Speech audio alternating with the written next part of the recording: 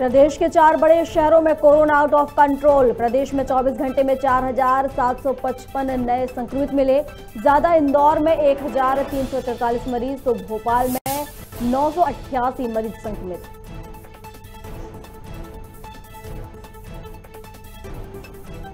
छत्तीसगढ़ के सीएम भूपेश बघेल ने का बयान पंजीकृत किसानों से की जाएगी धान खरीदी। मौसम ठीक होते ही खरीद केंद्र में लगाई जाएगी तेज़ी।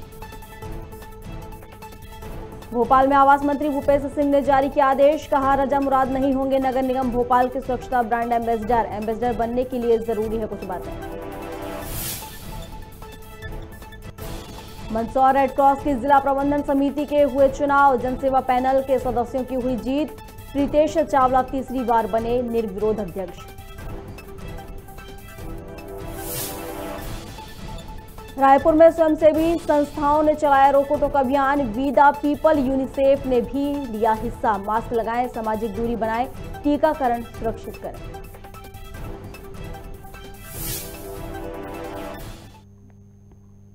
नमस्कार, खबर भारत देख रहे हैं आप। मैं हूँ आपके साथ प्रियंका। चलिए बढ़ते हैं खबरों की ओर।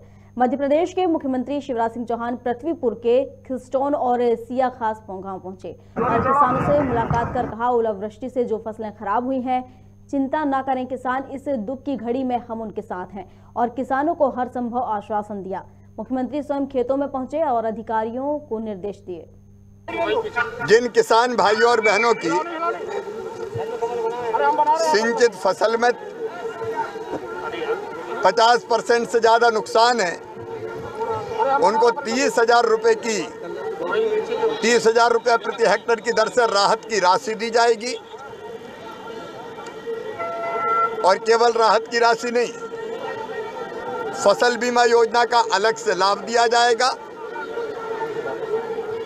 ऋण वसूली स्थगित करके अल्पकालीन ऋण को मध्यमकालीन ऋण में परिवर्तित कर दिया जाएगा।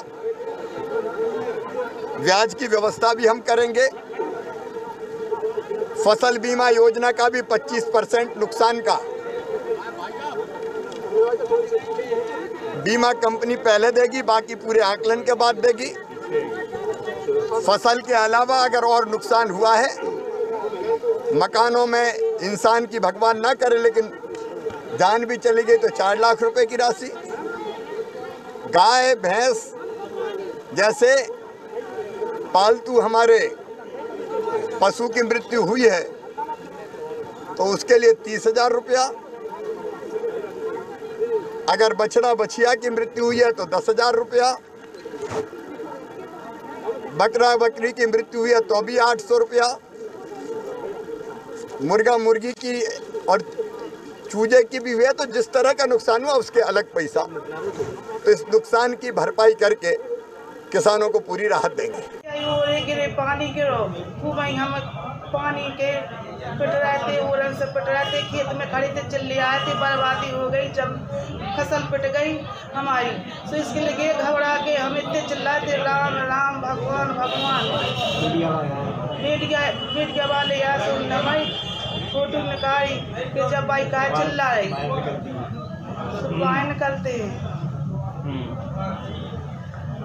फिर आज फ़ोटो भेजी वो भाई इतने अधिकारी गए कलेक्टर आए पानी को पटवाई गए उगा पे गए समझा है उनने।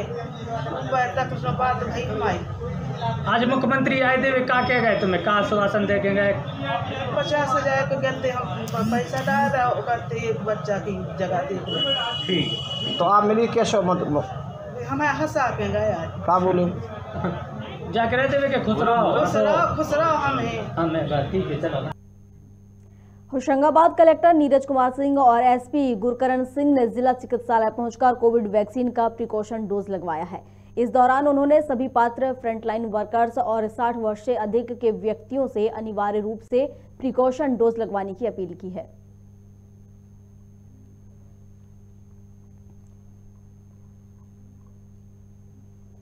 कुरवाई में रोको टोको अभियान चलाया जा रहा है। कुरवाई एसडीएम और नगर पालिका ने संयुक्त रूप से पूरे बाज़ार में पैदल चलकर लोगों और दुकानदारों को मास्क लगाने की अपील की है। साथ ही मरीज़ मिलने के बाद लोग भी भयभीत हो रहे हैं, जिसके चलते सीएम शिवराज ने भी सभी स्कूलों को 31 जनवरी तक बंद करने का आदेश दिया है। वहीं कुछ विशेषज्ञों ने भी जनवरी के आखिरी हफ़्ते में कोरोना पीक का भी अनुमान लगाया है। बता दें कि रात को चालानी कार्रवाई भी की जा रही है।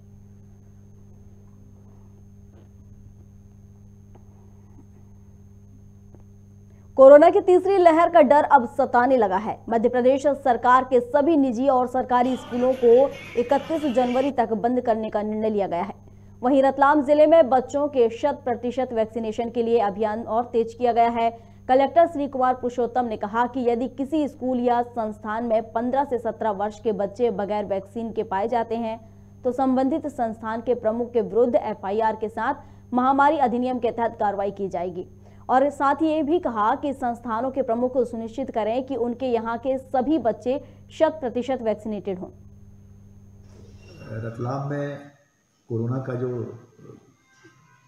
तीसरी लहर है, उसके कारण काफ़ी बड़ी संख्या में संक्रमित लोग मिल रहे हैं।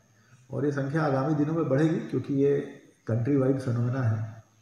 आसपास के बड़े शहरों में बहुत बड़ी संख्या में लोग आ रहे हैं। लॉकडाउन अभी नहीं है, क्योंकि आर्थिक गतिविधियाँ चलती रहनी चाहिए।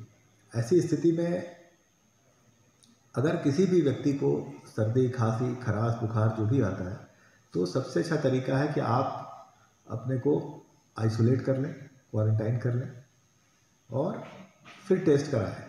और पूरा परिवार भी कुछ दिनों के लिए क्वारंटाइन हो जाए। सुरक्षा का यही सबसे अच्छा तरीका है। जो बच्चों के वैक्सीनेशन है, वो काफ़ी बड़ी संख्या में हो रहे हैं, लेकिन अभी भी पूरे ज़िले में बीस हज़ार बच्चे ऐसे हैं जिनका वैक्सीनेशन नहीं हुआ है। सभी अभिभावकों से अपील है कि अगर आपका बच्चा 15 से 18 वर्ष के बीच में है और पात्र है तो आगामी दो दिनों में, सैटरडे और संडे को, ज़रूर वैक्सीनेशन करा लें। आपके नज़दीक में ही केंद्र बने होंगे, जिस स्कूल में बच्चा पढ़ता होगा, वहाँ कॉन्टैक्ट कर सकते हैं आप।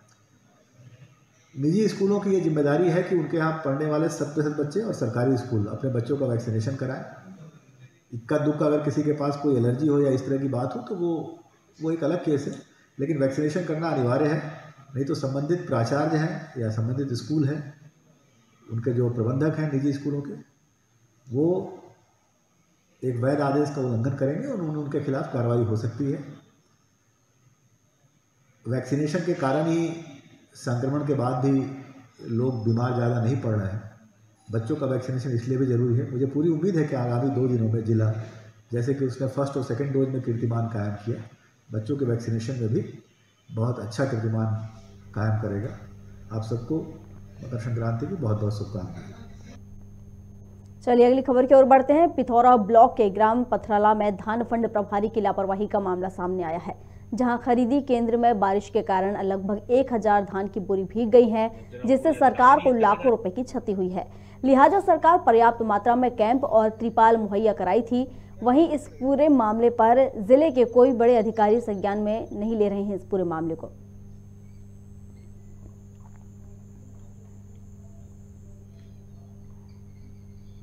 धान खरीदी और मुआवजे के मुद्दे पर छत्तीसगढ़ के कृषि मंत्री ने कहा कि धान खरीदी की तारीख नहीं बढ़ाई जाएगी। कृषि मंत्री चौबे ने कहा कि एक करोड़ पाँच लाख मीट्रिक टन धान खरीदी का लक्ष्य रखा गया था। जिसमें से सत्तर लाख मीट्रिक टन का लक्ष्य पूरा कर लिया गया है। वहीं बारिश की वजह से हुए धान के नुकसान को लेकर उन्होंने कहा कि सर्वे किया जा रहा है। मुख्यमंत्री से मुख्यमंत्री के साथ समीक्षा के बाद मौसम खुलने पर जिनका नुकसान हुआ है उन्हें उचित मुआवजा दिया जाएगा ऐसी भी उन्होंने बात बताई। कृषि मंत्री ने कोरोना को लेकर समीक्षा बैठक की भी बात कही। दुर्भाग्य है उनकी समझ ही नहीं है। अभी तो मौसम खुला ही नहीं है। अभी सर्वे का काम चल रहा है। अभी फिर से मैंने कहा ना भीड़ को नियंत्रित होना चाहिए मास्क ज़रूरी है कोरोना गाइडलाइन का पालन किया जाना चाहिए टेस्टिंग को लगातार हम बढ़ा रहे हैं। जिला प्रशासन न केवल बस स्टैंड और हवाई अड्डा पे हम लोग जहाँ भी ऐसी संभावना है उसको नियंत्रित करने का प्रयास कर रहे हैं और जन जागरूकता का कर रहे हैं। मैं समझता हूँ कि कोरोना पे इतना किसी को भी पैनिक होने का सवाल ही नहीं। रायपुर नगर निगम के वार्ड क्रमांक छप्पन में स्मार्ट आंगनवाड़ी का लोकार्पण किया गया है। इसके साथ ही यहाँ अठहत्तर लाख रुपए के विकास कार्यों का भूमि पूजन किया गया। इस मौके पर महापौर एजाज ढेबर और विधायक सत्यनारायण शर्मा सहित अन्य अतिथि क्षेत्रवासी मौजूद रहे।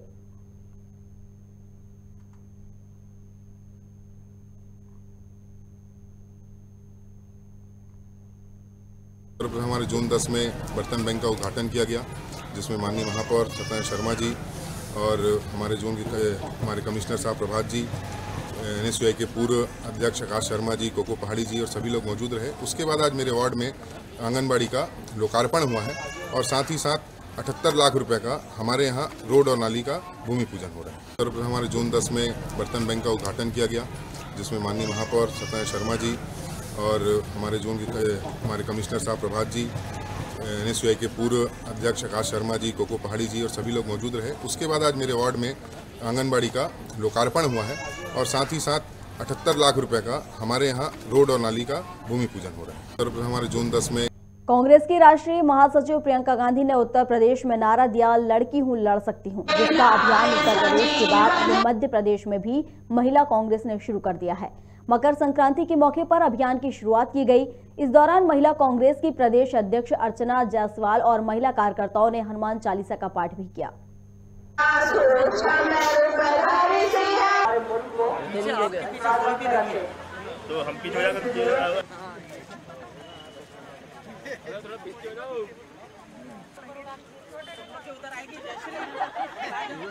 और इस मकर संक्रांति के अवसर पर दिया हल्दी कुकड़ी लगाई और पारंपरिक खेल करते हैं वो भी हमारी समय लड़की हूँ लड़ सकती हूँ ये स्लोगन के साथ।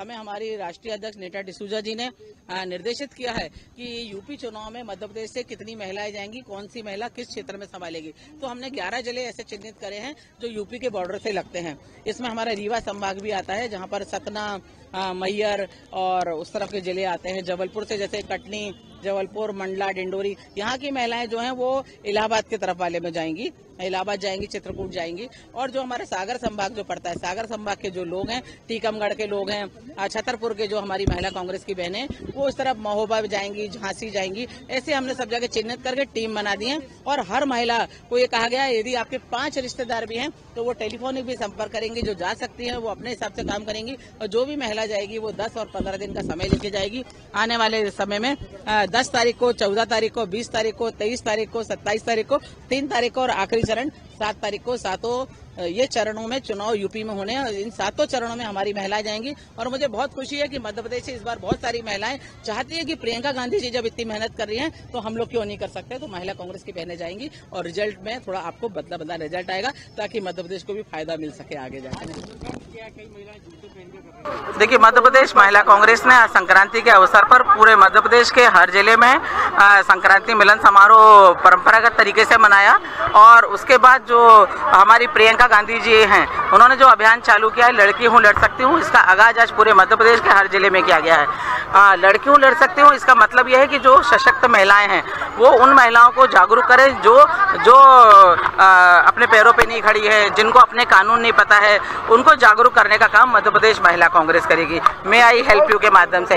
यदि किसी को कोई मदद करनी है तो हमारी जो महिलाएँ हैं उनको बताएँगी कि ये आपके कानूनी अधिकार हैं ये सरकार की आपकी योजना है क्योंकि अच्छे से अच्छी पढ़ी लिखी महिलाओं को भी उनको कानून और अधिकार पता नहीं होते हैं। तो वाकई सशक्तिकरण जब हो पाएगा जब महिलाएँ जागरूक होंगी। जब महिलाएँ जागरूक होंगी तो वो अन्य महिलाओं को जागरूक कर सकती हैं कि आप आपको पता होना चाहिए कि आपके ये अधिकार है। तब ये नारा जो है वो सार्थक होगा कि लड़की हूँ लड़ सकती हूँ। आज मैं हो सकता है मैं सक्षम हूँ और मैं जागरूक हूँ अपने अधिकारों की लड़ाई लड़ सकती हूँ परंतु कई महिलाएँ ऐसी जिन्हें जागरूक होना है। तो मैं अपने पद को तभी सार्थक मान, मानूँगी जब मैं कई महिलाओं को अर्चना जायसवाल बना दूँ और उनको बता दूँ कि भाई ये आपके कानून है। तो मध्य प्रदेश महिला कांग्रेस आज सबके सामने संकल्प लिया है। संक्रांति के अवसर पर संकल्प लिया है कि वो हर एक उस महिला की मदद करेगी जो महिला के महिला मदद की आकांक्षी है। उसे आत्मरक्षा के गुण भी सिखाएगी और ये प्रक्रिया सतत चलने वाली है। आज संक्रांति के अवसर पर चल के खत्म होने वाली प्रक्रिया नहीं है। अगली संक्रांति को फिर हम और आप मिलेंगे, तब हम देखेंगे कि हमने कितने कांटे बीने और कितनी महिलाओं को सशक्त करा है। यदि हम सशक्त हैं तो हमारा नैतिक दायित्व बनता है कि उन महिलाओं को सशक्त करें जो निशक्त हैं। अनूपपुर ज़िले के ग्राम पंचायत सारंगढ़ के चोल्हा में सरकारी गौशाला की मौजूदा हालात बेहद देख पा रहे हैं यह यहाँ कर्मचारी नहीं होने के कारण मवेशियों का दाना पानी संकट में है। ग्रामीणों का कहना है कि गौशाला में 45 मवेशी हैं। सही से देखरेख उनकी नहीं हो पा रही है जिसकी वजह से मवेशी मर रहे हैं। लेकिन प्रशासन इस ओर ध्यान नहीं दे रही है। लिहाजा ग्रामीणों ने अव्यवस्थाओं को लेकर प्रशासन से जल्द कार्रवाई की मांग की है। अंदर का दृश्य है जहाँ पास देख पा रहे हैं गड्ढों में सकते हैं देखिए। गड्ढों में मिलेगा ये छिपाया जा रहा है या क्या किया जा रहा है? पूरा सीन ले पूरा सीन ले उसका यहाँ बहुत ही बुरा दृश्य है और अभी को तो जल्द ही प्रयास करें क्योंकि यह समूह के अंतर्गत यह गौशाला होती है रोड के बगल से यह देखते हैं अभी हम यहाँ पास पहुँचे हैं। हम चूल्हा के निवासी हैं। यहाँ की खबर लेते हुए हम यहाँ देखें कि दत्ते भोपाल में आवास मंत्री भूपेंद्र सिंह ने आदेश जारी कर कहा कि रजा मुराद नगर निगम भोपाल के स्वच्छता ब्रांड एम्बेसडर नहीं होंगे। उन्होंने कहा कि जो भोपाल की संस्कृति से परिचित हों या जिनका साफ़ सफ़ाई के क्षेत्र में योगदान हो, ऐसे व्यक्ति या संस्था को स्वच्छता का ब्रांड एम्बेसडर बनाया जाएगा।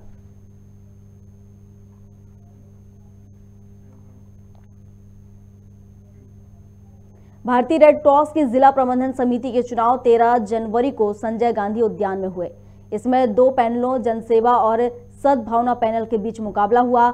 वहीं इस चुनाव में जनसेवा पैनल के सदस्यों को जीत मिली और चुनाव के परिणाम घोषित हो जाने के दूसरे दिन बाद जनसेवा पैनल के सदस्यों की बैठक में प्रीतेश चावला निर्विरोध अध्यक्ष चुने गए। यह तीसरा मौका होगा जब चावला रेड क्रॉस जिला प्रबंधन समिति की कमान संभालेंगे। मीडिया से चर्चा में नवनियुक्त अध्यक्ष ने कहा कि वृद्धाश्रम और फिजियोथेरेपी सेंटर में जो कुछ खामियाँ होंगी उन्हें सुधारेंगे। साथ ही ब्लड डोनेशन को लेकर एक सॉफ्टवेयर भी विकसित कराएँगे। आ, कल इसके इलेक्शंस हुए और कल ही रात में मतगणना होकर रिज़ल्ट भी डिक्लेयर हो गए। 21 लोगों की कमेटी बनी। आज उस 21 लोगों की जो समिति थी उसकी मीटिंग हुई और मीटिंग में भी निर्विरोध तरीके से जो पाँच पद होते हैं उनका निर्वाचन संपन्न हो गया है।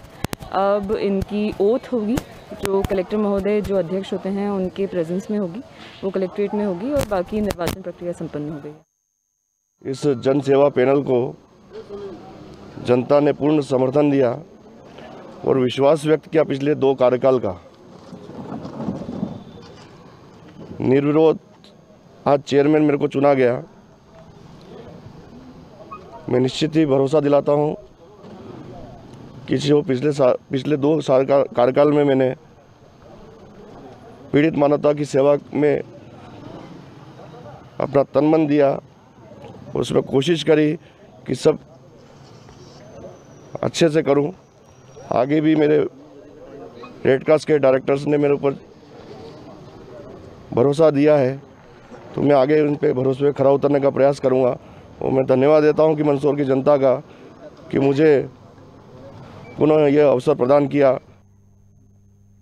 राजधानी रायपुर में कोरोना के बढ़ते मामलों को लेकर रोको टोको अभियान चलाया गया। जिसको लेकर स्वयंसेवी संस्थाओं के कार्यकर्ताओं ने शहर के चौक चौराहों पर लोगों से सही से मास्क लगाने सामाजिक दूरी बनाने और टीकाकरण करवाने के लिए जागरूक कर रहे हैं। साथ ही वी द पीपल यूनिसेफ के कार्यकर्ताओं ने भी इस अभियान में बढ़ चढ़कर हिस्सा लिया। टीकाकरण के लिए सबको प्रेरित किया जा रहा है। जितने भी लोग सिक्सटी एज से ऊपर हैं और उनका सेकेंड डोज के लिए नौ महीना हो चुका है, वो अपना बूस्टर डोज लें, ये भी कहा जा रहा है। और पंद्रह से अठारह वर्ष बच्चों का भी वैक्सीनेशन शुरू हो चुका है। तो हम सब यही कोशिश कर रहे हैं कि लोग जागरूक हों और अपनी ज़िम्मेदारी समझें ताकि अपना भारत और अपना राज्य जो भी है, हम सब सुरक्षित रह सकें और स्वस्थ रह सकें। हर दिन 11 बजे से 5 बजे तक सारे लोगों को मास्क के लिए और आपके स्टेशन दूरी के लिए, दूसरा सैनिटाइजर के लिए और जो अभी 60 प्लस वालों को जो बूस्टर लगना वैक्सीन लगना है, उसकी भी जानकारी प्रत्येक जगह जगह चौक चौराहे में दी जा रही है। मास्क भी हमारे द्वारा बांटा जा रहा है और हम लोग कल से छोटे लाइफ और साबुन भी बांटेंगे और मास्क भी बांटेंगे। हम लोग के द्वारा ये अभियान जब तक कोरोना रायपुर ज़िले से हम लोग खत्म नहीं कर देंगे तब तक हम इस अभियान में जुड़े रहेंगे और इस अभियान में हम प्रयास करते रहेंगे सिंगरौली ज़िले के चितरंगी विकासखंड के ग्राम पंचायत कोरसर में कोविड के नियमों का पालन करते हुए माँ बलदेश्वरी एनजीओ समिति ने कैनवास क्रिकेट प्रतियोगिता का आयोजन कराया। फाइनल मैच बर्दी और नगझक पोखरी डोल टीम के बीच खेला गया। इस मैच में विजेता वर्दी टीम रही। यहाँ उपस्थित मुख्य अतिथि भाजपा किसान मोर्चा के जिला अध्यक्ष विनोद चौबे ने खिलाड़ियों और वॉलंटियर्स वॉलंटियरों वॉलंटियरों को पुरस्कार वितरित किए।